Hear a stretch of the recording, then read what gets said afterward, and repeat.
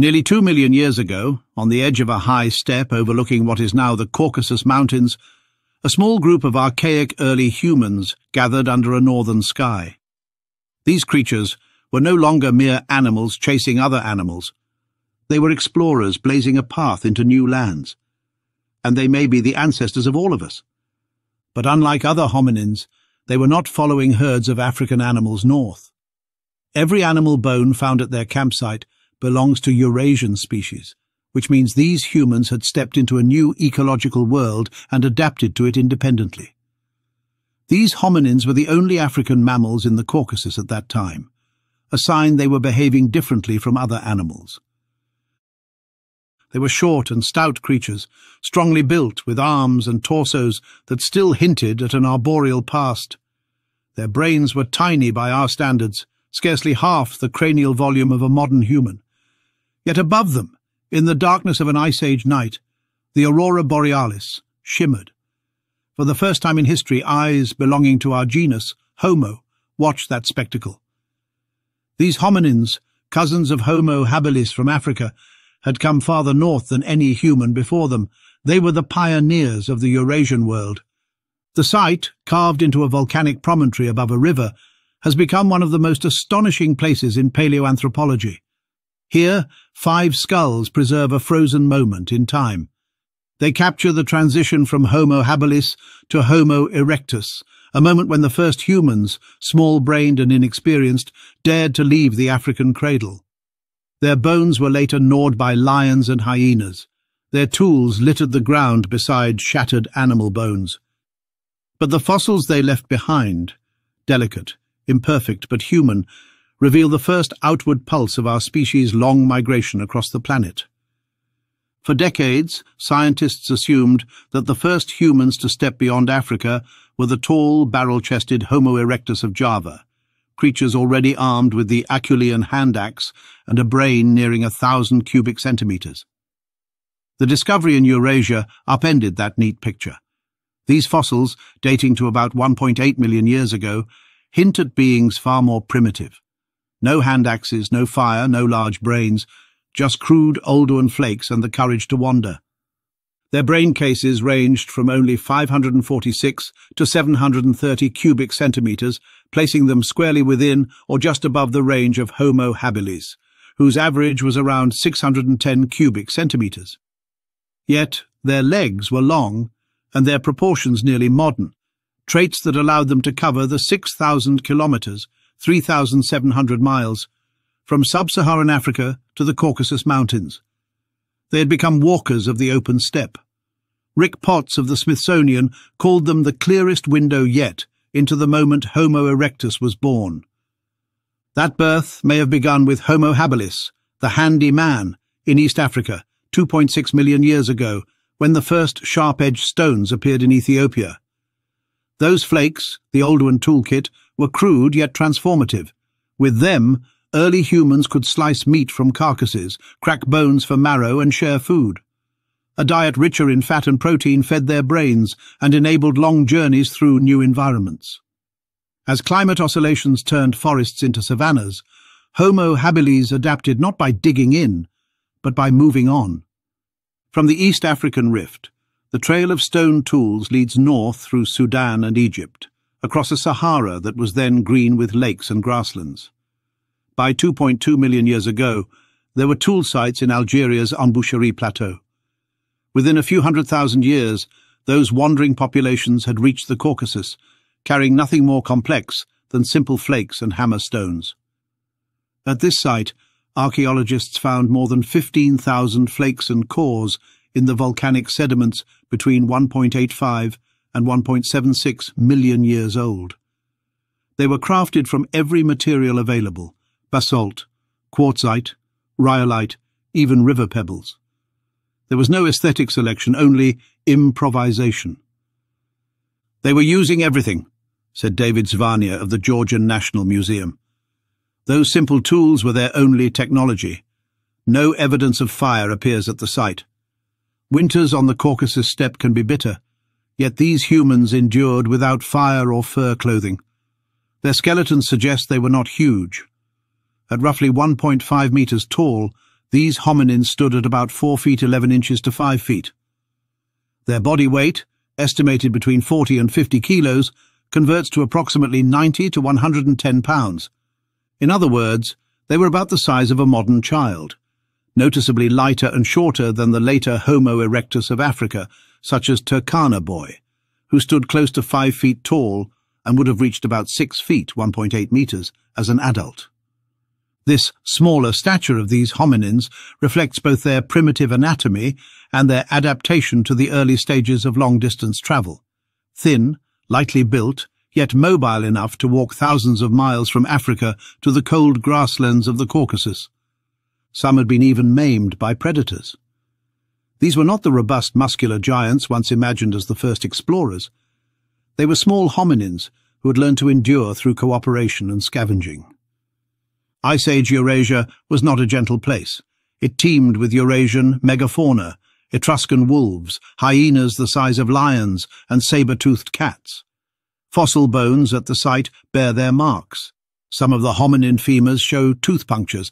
Hyenas chewed their limbs after death. One geologist joked that someone rang the dinner bell. Humans and carnivores were eating each other. It was a world of mutual predation. Yet even in this dangerous ecosystem they thrived for a time. Their simple flakes were enough to butcher meat from carcasses and perhaps defend themselves. Piles of cobblestones found near a gully entrance may mark a defensive position where they hurled stones at predators. These guys were badasses. Competing directly with cave lions for meat, they were not weak and frail as has been suggested in the past. Even with primitive tools, they had become dangerous omnivores, capable of living alongside the top predators of Eurasia.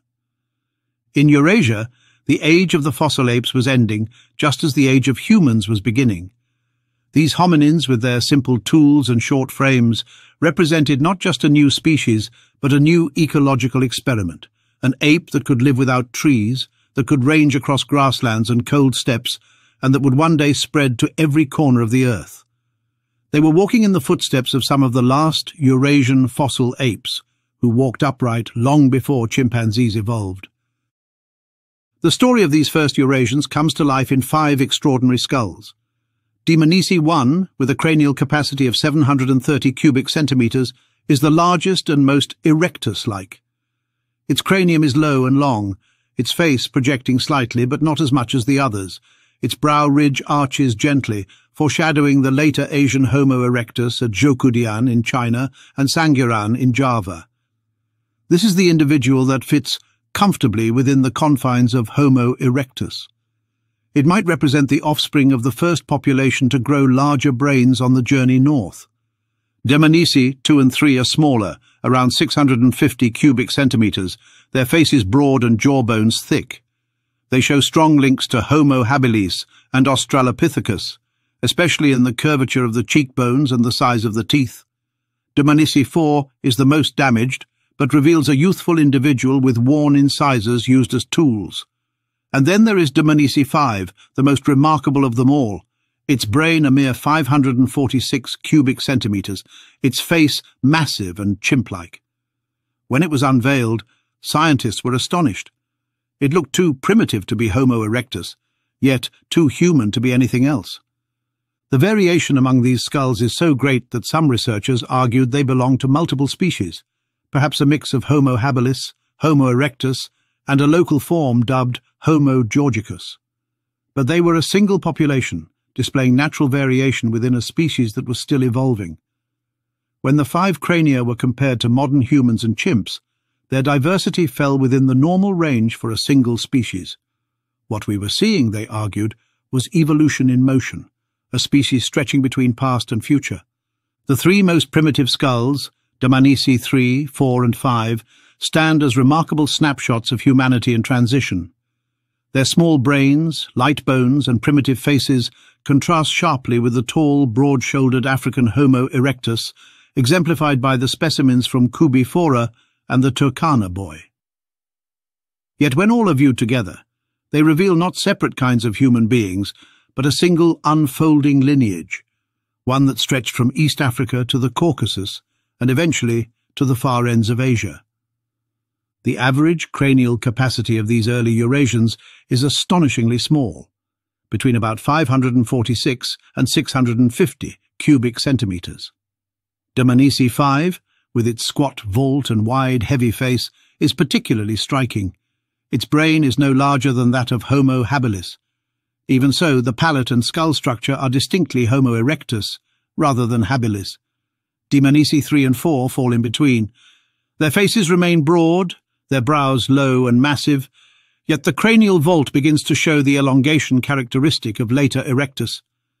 This variation, once thought to represent several species, now appears to fall within the range of a single evolving population, a primitive form of Homo erectus descended from habilis-like ancestors that had only recently left Africa.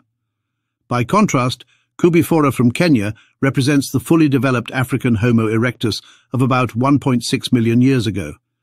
Its brain, at roughly 900 cubic centimeters, almost doubles that of the smallest Dmanisi skull. The face is flatter, the brow ridge more continuous and structured, and the cranial vault longer and smoother.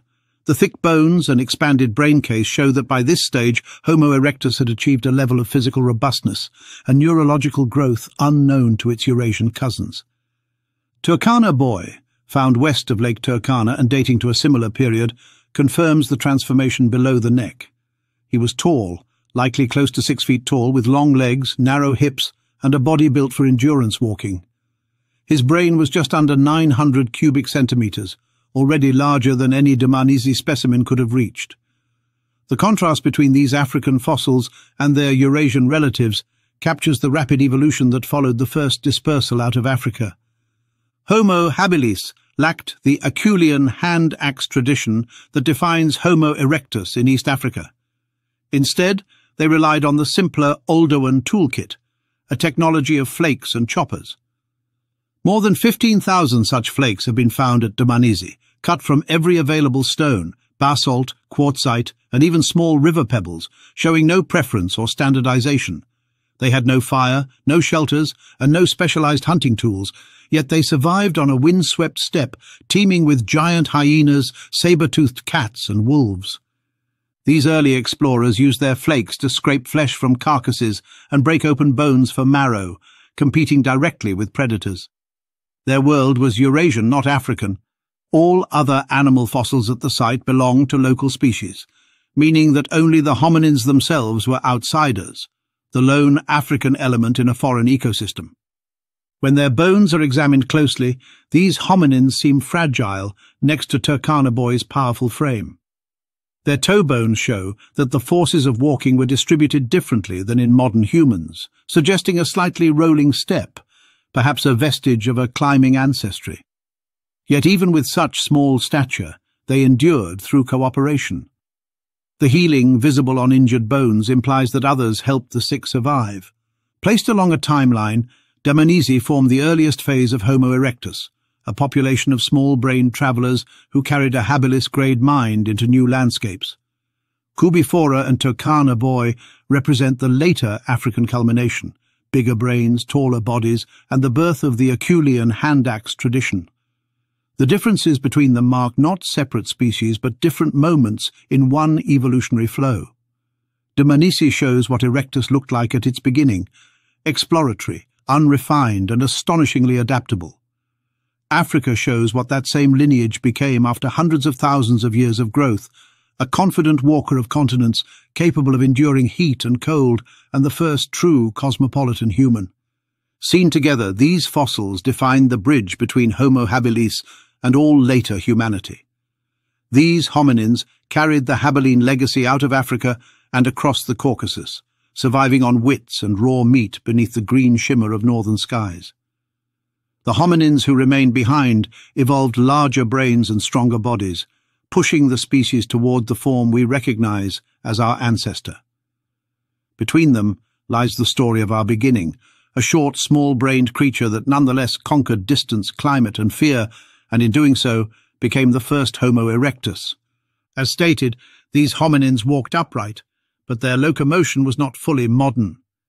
Analyses of their toe bones reveal that the outer layer of cortical bone was not reinforced as in modern humans.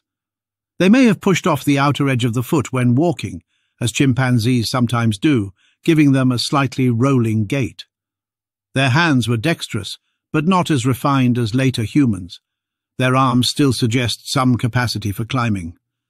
In every way, they were intermediate, a bridge between forest and plain. Their faces, though primitive, already showed the beginnings of our own structure, a flatter midface, smaller canines, and a less pronounced snout. The jaw of one individual shows healing around an abscess, proof that this early human lived for months after a painful infection, perhaps because others shared food with him. That glimmer of compassion suggests the first faint signs of the social bonding that would later define Homo sapiens. If these small-brained wanderers had crossed into Eurasia by 1.8 million years ago, they would have encountered long winters and clear polar nights. Geomagnetic records show that the auroral oval at that time extended southward during magnetic excursions. Standing beneath those skies, our ancestors may have seen the northern lights for the first time, green curtains rippling over the steppe. For creatures without language or myth, it must have been both terrifying and sublime, a natural theatre at the edge of their known world. The idea that Homo habilis and its descendants could reach this latitude challenges our assumptions about intelligence and adaptability. They had brains half our size and no fire, yet they survived glacial winds and predators. What they had instead was behavioral flexibility, the capacity to use any stone, any landscape, and any opportunity that nature offered. They could turn a river cobble into a cutting edge, a carcass into a meal, and an unfamiliar valley into a temporary home. This was the true spark of humanity long before the mastery of fire or the shaping of metal, an ability to adapt rather than specialize, to see possibility where other creatures saw only danger. It was this behavioral flexibility, more than brute strength or brain size, that allowed the small, badass hominins of Dmanisi, descendants of Homo habilis, to walk out of Africa and survive beneath the cold auroras of Eurasia. Please click on these links for more videos and thank you for watching.